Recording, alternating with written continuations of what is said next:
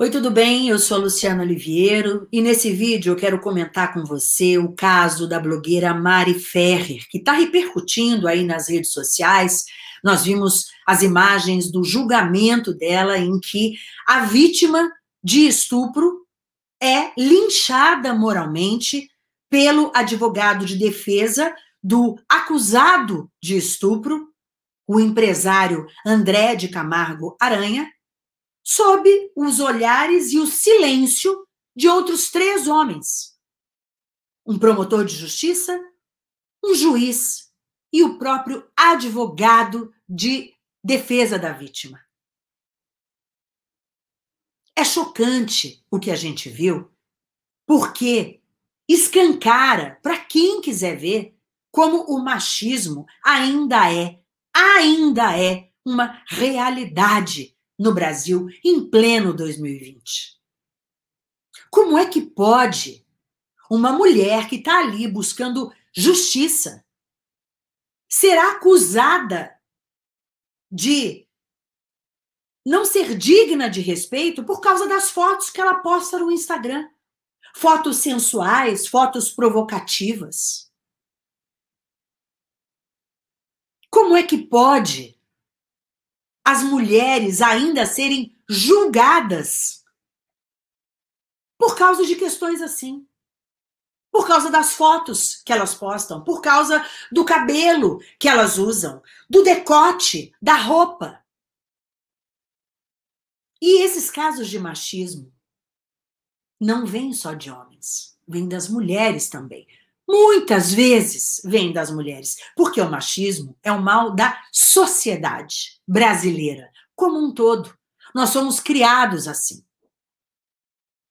Nós somos criados a questionar a honra de uma mulher pelas atitudes, pelo comportamento dela, sexual, se ela é namoradeira, se ela não é, se ela usa roupa justa, se ela não usa, se ela é loira e provocante ou se ela não é.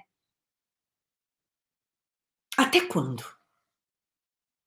Fala-se tanto ultimamente em sororidade, empoderamento feminino. Será mesmo que nós, mulheres, somos amigas de outras mulheres? Será que muitas vezes não parte de nós o primeiro pré-julgamento de outras mulheres? A gente vê as feministas e o feminismo sendo atacado? Será mesmo que não precisamos mais de feministas e de feminismo? Será? Enquanto a gente vê aí o machismo rolando solto.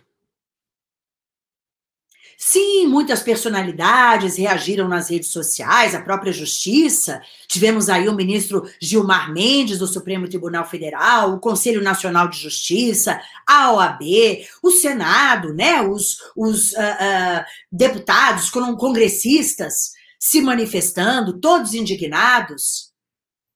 Mas é um comportamento que vira e mexe aparece de novo. Vide o caso do Robinho, do jogador do Santos. Aliás, vários times de futebol se manifestaram também a favor da Mari Ferrer. Acharam um absurdo esse linchamento moral pelo qual ela passou no julgamento em que ela era vítima. Mas vira e mexe, acontece de novo. Vimos recentemente o caso da criança, menina de 10 anos de idade, vítima de estupro, que foi vítima pela segunda vez de pessoas que não queriam permitir um direito conquistado pelas mulheres arduamente, que é o direito de abortar em caso de estupro. Ainda tem gente querendo discutir isso, o que já não está mais em discussão. O que já foi uma vitória conquistada. Então, jura mesmo que feministas e feminismo não são mais necessários? Até quando as mulheres vão ter que passar por humilhação e vão ter que provar a sua honra e a sua dignidade quando estiverem procurando por reparação, por justiça? Até quando? Será que você é machista também? Para a gente refletir. Deixa aqui a sua opinião sobre esse assunto. Quero saber o que você acha a respeito disso. Compartilhe esse vídeo e deixa o seu like para mim. A gente se vê. Tchau, tchau.